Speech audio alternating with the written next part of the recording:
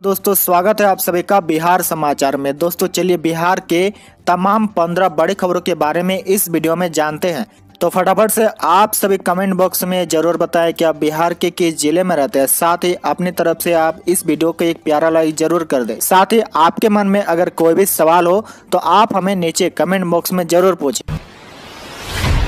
आज की सबसे पहली खबर, बिहार के बिजली उपभोक्ताओं के लिए बड़ी खुशखबरी। 2022-23 के लिए बिजली दरों में नहीं होगी कोई बढ़ोतरी। जी हाँ राज्य विद्युत विनियामक आयोग ने बिहार के बिजली उपभोक्ताओं को बड़ी राहत दी है। आयोग ने वर्ष 2022-23 के लिए बिजली के दरों का ऐलान कर दिया है।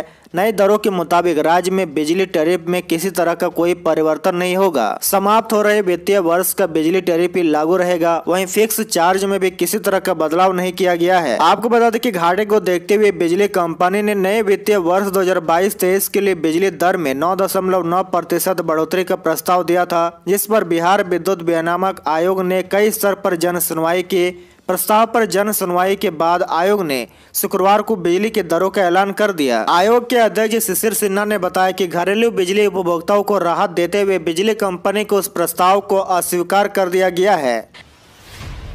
अगली बड़ी खबर बीपीएससी ने बाईस पदों को भरने के लिए निकाली वैकेंसी यानी कब से शुरू होंगे ऑनलाइन आवेदन? जहाँ बिहार कर्मचारी चयन आयोग जल्द ही तृतीय स्नातक स्तरीय संयुक्त परीक्षा के लिए विज्ञापन निकालेगा। बीपीएससी की ओर से सामान्य प्रशासन विभाग से इसके लिए पत्राचार भी किया गया है। अब तक विभिन्न विभागों की ओर से बाईस पदों पर अधियोजना लाई गई है। अब इन्हीं पदों पर नियुक्ति के लिए विज्ञापन लाने की कवायद की जा रही है। अप्रैल महीने में इन पदों के लिए अभ्यर्थियों से ऑनलाइन आवेदन लिया जा सकता है। अगली बड़ी खबर, बिहार के पाँच जिलों के केंद्रीय विद्यालयों में भर्ती। कुछ पदों के लिए सीटेट है ज़रूरी। जी हाँ बिहार के कई जिलों में विभिन्न केंद्रीय विद्यालयों में भर्तियाँ निकली हुई है। ये भर्तियाँ शिक्षक, कंप्यूटर इंस्ट्रक्चर, कोच, नर्स और काउंसलर जैसे तमाम पदों पर संविदा पर की जा रही है। इंटरव्यू आने वाले पंद्रह दिनों के भीतर आयोजित होने जा रहे हैं। आपको बता दें कि समस्तीपुर केंद्रीय विद्यालय में पीजीटी, बायो, हिंदी, गणित के व टीजीटी, विज्ञान, गणित व अंग्रेज़ी के लिए इंटरव्यू 2 अप्रैल 2022 को सुबह नौ बजे से होगी। वही प्राथमिक शिक्षक, कंप्यूटर इंस्ट्रक्चर, गेम कोच व काउंसलर इंटरव्यू तीन अप्रैल दो हज़ार बाईस को सुबह नौ बजे होंगे। अधिक जानकारी के लिए आप Samastipur dot K B S dot A C dot in पर जा सकते हैं। इसी तरह सारण केंद्रीय विद्यालय में भी कई पदों पर भर्ती निकली हुई है। इसके लिए इंटरव्यू मार्च 2022 को सुबह ग्यारह बजे से होगी। अधिक जानकारी के लिए आप इसके लिए आप सारण के केंद्रीय विद्यालय के ऑफिशियल वेबसाइट पर जा सकते हैं। वहीं आपको बता दें कि छपरा केंद्रीय विद्यालय में टीजीटी, प्राथमिक शिक्षा, कंप्यूटर इंस्ट्रक्चर काउंसलर, नर्स के पदों के लिए इंटरव्यू इकतीस मार्च को सुबह नौ बजे से होगी। अधिक जानकारी के लिए आप Chhapra dot K B S dot A C dot in पर जा सकते हैं। इसी तरह खगड़िया केंद्रीय विद्यालय में कई पदों के लिए इंटरव्यू उनतीस मार्च दो हज़ार बाईस को सुबह नौ बजे से होगी। अगली बड़ी खबर, अगले सप्ताह जारी हो सकता है Bihar board matric result. Bihar board online dot com पर देख सकेंगे रिज़ल्ट। जी हाँ बिहार बोर्ड मैट्रिक रिज़ल्ट अगले सप्ताह जारी किए जाने की संभावना है। बिहार बोर्ड कक्षा 10 की परीक्षा में भाग लेने वाले अभ्यर्थी अपना रिज़ल्ट बोर्ड की website Bihar board online dot Bihar dot government dot in व Bihar board online dot com पर अपना रिज़ल्ट चेक कर सकेंगे। बिहार बोर्ड सूत्रों के अनुसार मैट्रिक टॉपर की कॉपियाँ बोर्ड ऑफ़िस 26 मार्च तक पहुँच जाएगी। विषय विशेषज्ञों द्वारा कॉपियों की जाँच कराने के बाद टॉपर्स का इंटरव्यू शुरू हो जाएगा। इस हिसाब से देखे जाए तो अगले सप्ताह बिहार बोर्ड दसवीं का रिज़ल्ट घोषित कर दिया जाएगा। बिहार बोर्ड का लक्ष्य के तीस मार्च तक मैट्रिक परीक्षा के परिणाम जारी कर दिए जाए। बड़ी खबर, राबड़ी देवी ने मुकेश सहनी को दिया झटका। कहा वीआईपी प्रमुख की आरजेडी में नो एंट्री जी हाँ बिहार के पूर्व मुख्यमंत्री राबड़ी देवी का कहना है कि मुकेश सहनी को अब लालू प्रसाद क्यों याद आ रहे हैं? राजद में मुकेश सहनी के लिए कोई जगह नहीं है। पार्टी में पहले ही कई बड़े निषाद नेता मौजूद है। बता दें कि कुछ दिन पहले वीआईपी प्रमुख मुकेश सहनी ने फेसबुक लाइव के दौरान कहा था कि लालू प्रसाद की बात नहीं मानकर उन्होंने बहुत बड़ी गलती कर दी थी। इसी संदर्भ में जब पत्रकारों ने सवाल का जवाब देते हुए राबड़ी देवी ने कहा कि वो मुकेश सहनी कहाँ जा रहे थे, उन्हें जाते समय सोचना चाहिए था। राजद में उसकी अब नो एंट्री है। बता दें कि वीआईपी प्रमुख मुकेश सहनी की पार्टी के तीनों विधायक बीजेपी में शामिल हो गए हैं। अगली बड़ी खबर, गृह मंत्री अमित शाह तेईस अप्रैल को आएँगे बिहार। आज़ादी के अमृत महोत्सव में होंगे शामिल। जगदीशपुर में होगा कार्यक्रम। जी हाँ भारतीय जनता पार्टी द्वारा देश भर के स्वतंत्रता संग्राम के नायकों की जन्मस्थली पर आज़ादी के अमृत महोत्सव के तहत कार्यक्रम हो रहे हैं। इसी श्रृंखला में तेईस अप्रैल को भोजपुर के जगदीशपुर में बाबू कुंवर सिंह की जन्मस्थली पर भव्य समारोह होंगे। इससे केंद्रीय गृह मंत्री अमित शाह शामिल होंगे। आपको बता दें कि इस कार्यक्रम को यादगार बनाने तथा इसकी तैयारी के लिए प्रदेश अध्यक्ष डॉक्टर संजय जायसवाल की अध्यक्षता में शुक्रवार को भाजपा के प्रदेश पदाधिकारियों की एक महत्वपूर्ण बैठक पार्टी मुख्यालय में हुई। अगली बड़ी खबर बिहार वासियों को सौगात। सभी राशन कार्डधारी परिवारों को पाँच लाख तक मिलेगा मुफ़्त इलाज। जी हाँ, बिहार विधानसभा ने आगामी वित्तीय वर्ष के लिए स्वास्थ्य विभाग के एक अरब चौतीस करोड़ रुपए से अधिक की बजट अनुदान ध्वनित से पारित कर दी। विधानसभा में स्वास्थ्य मंत्री मंगल पांडे ने बजट पर हुई चर्चा का जवाब देते हुए राज्य में कोरोना के दौरान स्वास्थ्य विभाग द्वारा उठाए गए कदम की चर्चा की। उन्होंने मुंगेर और मोतिहारी में दो मेडिकल कॉलेज और डेढ़ सौ डेढ़ सौ बिस्तरों वाले अस्पताल की स्थापना किए जाने की घोषणा की है। इसके साथ ही बिहार के सभी राशन कार्डधारी परिवारों का प्रति वर्ष पाँच लाख तक का मुफ़्त इलाज होगा। फ़िलहाल राज्य के साढ़े पाँच करोड़ लोगों को इसका लाभ मिल रहा है। अब बिहार सरकार अपनी राशि से इसका लाभ पर चार करोड़ और लोगों को देगी।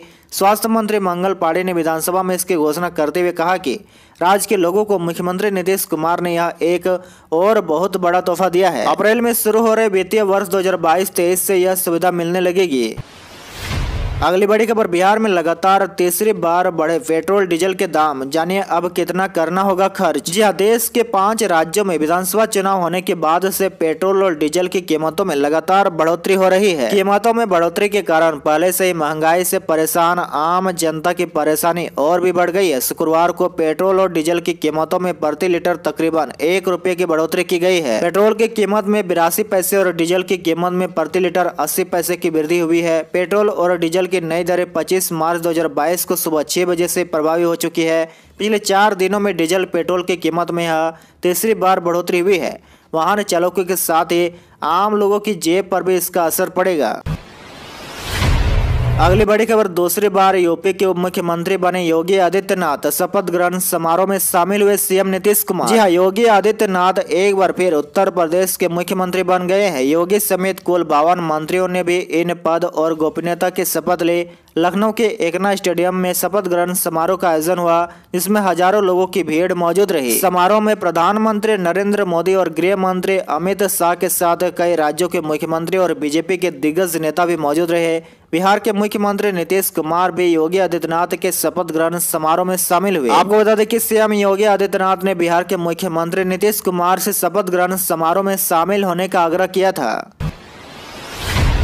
अगली बड़ी खबर बिहार के लाल ने कर दिया कमाल। जेल में रहते हुए क्वालिफाई किया आईआईटी जेम की परीक्षा। हौसला बुलंद हो और मन में कुछ कर गुजरने की चाहत हो तो इंसान के लिए कोई भी चीज़ असंभव नहीं है। कुछ ऐसा ही कर दिया है नवादा मंडल कारा में बंद सूरज कुमार ने। सूरज ने जेल में रहते हुए आई के joint admission test for master की परीक्षा में बड़ी सफलता हासिल की है। सूरज ने जेम की परीक्षा में पूरे भारत में चौवनवा रैंक हासिल किया है। सूरज अब आई रुड़की में दाखिला लेकर मास्टर डिग्री का कोर्स करेगा। जानकारी के मुताबिक मुताबिक सूरज की सफलता के पीछे तत्कालीन मंडल कारा अक्षय कुमार पांडे की अहम भूमिका रही है। कारा अधीक्षक ने जेल के भीतर ही परीक्षा की तैयारी के लिए सूरज को किताबें और नोट्स समेत अन्य मटेरियल उपलब्ध करा दिए थे। जिसके बाद सूरज ने जेल के भीतर तैयारी कीर्तिमान स्थापित कर दिया है।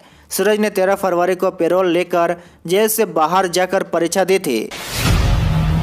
बड़ी खबर मौसम ने किया कंफ्यूज कहीं तेज धूप तो कहीं धुंध। बिहार में पूर्वी और पश्चिमी हवा के अलग अलग प्रभाव से बने हालात। पाँच दिनों तक दिखेगा असर। जी हाँ, बिहार का मौसम दो दिशा से चल रही है। हवा के कारण आग मिचौली वाला है। पूर्वी हवा जहाँ ह्यूमिडिटी बढ़ा रहा है वहीं पछवा हवा के प्रभाव से गर्मी सता रही है। भागलपुर और गंगा से सटे बिहार के पूर्वी इलाकों में जहाँ मौसम थोड़ा राहत देने वाला है वहीं पटना सहित राज्य के अधिकांश क्षेत्रों में आसमान से आग बरसने जैसे हालात है।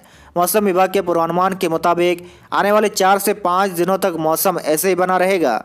इस दौरान रात और दिन के तापमान में कोई खास परिवर्तन नहीं होगा लेकिन हवाओं का असर साफ़ दिखाई देगा। बड़ी खबर बिहार स्वास्थ्य विभाग में बीस हज़ार नर्सों की होगी भर्ती। स्वास्थ्य मंत्री मंगल पांडे का बड़ा ऐलान। जी हाँ, स्वास्थ्य मंत्री मंगल पांडे ने कहा कि इस वर्ष राज्य में बीस हज़ार नर्सों की बहाली होगी। अभी आठ हज़ार नौ सौ नर्सों की नियुक्ति प्रक्रियाधीन है। इसे एक महीने में पूरा कर लिया जाएगा। इसके बाद और बहालियाँ होगी। विधान परिषद में स्वास्थ्य आपदा प्रबंधन और समाज कल्याण विभाग के बजट पर सामान्य वाद विवाद के बाद मंत्री मंगल पांडे ने सरकार को उत्तर दे रहे थे। उन्होंने कहा कि स्वास्थ्य विभाग का काम चुनौतीपूर्ण है। हमेशा अलर्ट मोड में रहना पड़ता है। वर्ष दो हज़ार पाँच के बाद राज्य में स्वास्थ्य व्यवस्था में सुधार हुआ है। बीते सत्रह वर्षो में जैसा काम हुआ है, वैसा आज़ादी के बाद से होता तो आज सूरत ही कुछ और होती। उन्होंने कहा कि वर्तमान में जनरल मेडिकल ऑफिसर के मात्र 220 पद बचे हैं। उन्होंने स्वीकार किया कि विशेष डॉक्टरों के करीब तीन हज़ार पद खाली है और इसकी वजह चिकित्सकों का नहीं मिलना है। जब डॉक्टर मिलेंगे तभी तो उसकी नियुक्ति होगी। कहा कि बीते तीन वर्षों में छह से सात बार डॉक्टरों की नियुक्ति की गई है। अगली बड़ी खबर, बिहार बोर्ड के इंटर कंपार्टमेंटल परीक्षा के लिए 26 मार्च यानी आज से भरे जाएँगे फॉर्म। ऐसे छात्र भी हो सकते हैं शामिल। जी बिहार विद्यालय परीक्षा समिति ने इंटर कंपार्टमेंटल परीक्षा के लिए कार्यक्रम घोषित कर दिया है। बोर्ड के अनुसार 26 मार्च से 30 मार्च तक कंपार्टमेंटल परीक्षा के लिए आवेदन भरे जाएँगे। इस वर्ष बोर्ड ने कंपार्टमेंटल परीक्षा के लिए चौदह शुल्क निर्धारित किया है। परीक्षार्थियों को स्कूल के माध्यम से ऑनलाइन आवेदन करना होगा। बता दें कि बिहार विद्यालय परीक्षा समिति ने इस वर्ष इंटर के मुख्य परीक्षा में शामिल नहीं होने पाने वाले परीक्षार्थियों को भी कंपार्टमेंटल परीक्षा में बैठने की अनुमति प्रदान कर दी है। इसका सबसे बड़ा लाभ होगा की उन परीक्षार्थियों का एक साल बर्बाद नहीं होगा। और अंत की बड़ी खबर, बिहार फॉरेस्ट गार्ड और फॉरेस्टर भर्ती पेट परीक्षा का शेड्यूल जारी, जानिए कब होगी परीक्षा। यह फॉरेस्ट गार्ड और फॉरेस्टर के लिए central selection board of constable, Bihar ने पेटी परीक्षा का रिवाइज शेड्यूल जारी कर दिया है। पहले यह परीक्षा जनवरी महीने में आयोजित होने थी, लेकिन कुछ कारणों से नहीं हो पाई थी। सी बिहार फॉरेस्ट गार्ड और फॉरेस्टर पदों के लिए होने वाले पेटी परीक्षा में शामिल होने के लिए candidate C S B C dot Bihar dot N I C dot in पर रिवाइज शेड्यूल देख सकते हैं। जानकारी के मुताबिक, फॉरेस्ट गार्ड पद के लिए 19 और 20 अप्रैल को पेटी परीक्षा आयोजित की जाएगी, जबकि फॉरेस्टर पदों के लिए 18 अप्रैल को परीक्षा होगी। अभ्यर्थियों को परीक्षा में शामिल होने के लिए निर्धारित समय पर पटना के संजय गांधी जैविक उद्यान के गेट नंबर एक पर पहुँचना होगा। आज के लिए आपका सवाल बताए कि बिहार में और किन विभागों से भर्ती निकलनी चाहिए? इसका जवाब आप हमें नीचे कॉमेंट करके ज़रूर बताए।